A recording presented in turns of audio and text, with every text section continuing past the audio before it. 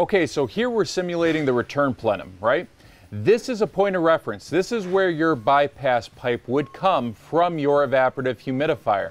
First and most important step, we need to be six inches minimum above the top of the bypass. So we took a tape measure, we measured up six inches, we drew a flat line so we know right where we want our control to install.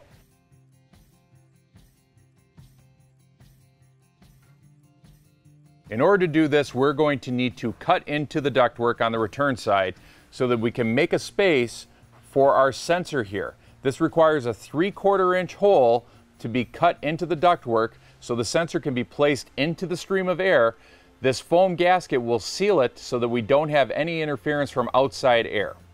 Okay, so we've drilled our 3 quarter inch hole in the ductwork for our sensor. Now it's time to put the control in place. Here's how we do it. First thing we need to do, remove this dial slides right off. Then we can pop the cover off of the control. This exposes where we have our screw holes for mounting to the ductwork and also allows you to align your sensor.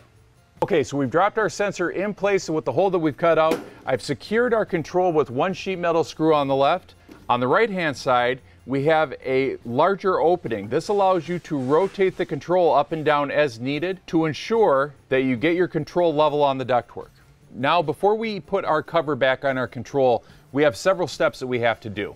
One of the first ones we should take care of is the setting for our water panel change, which is right here. Now, if you look real close, it'll show it on the instructions. This is actually a little arrow that is cut out into this white portion here. This is currently set to off. What we're going to want to do for a 500, 600, or a 700 is make one of three choices. We can either leave it at off, which will never tell a homeowner when to change the water panel.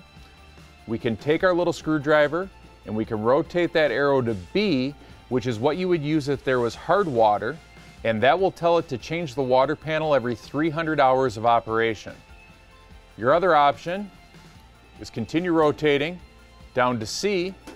C is for normal humidifier operation. This will tell it to change the water panel every 600 hours. So we're gonna leave it at C. Next, we have to decide, are we gonna let this control run in auto or manual? We at Aprilaire recommend that you always run our automatic digital humidifier control in auto mode. However, should you want to use manual, you simply flip this switch to the right, and when your control powers on, you will see a little M at the top right corner of the control indicating that we are in manual mode.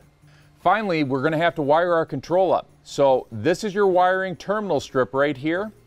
And we're going to walk you through right now where you would connect all of our wires in order to ensure proper humidifier operation.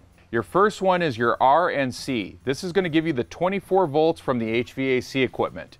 If you reverse the RNC terminals on the humidifier control, you're not going to get proper operation. So ensure that you've got that taken care of the right way.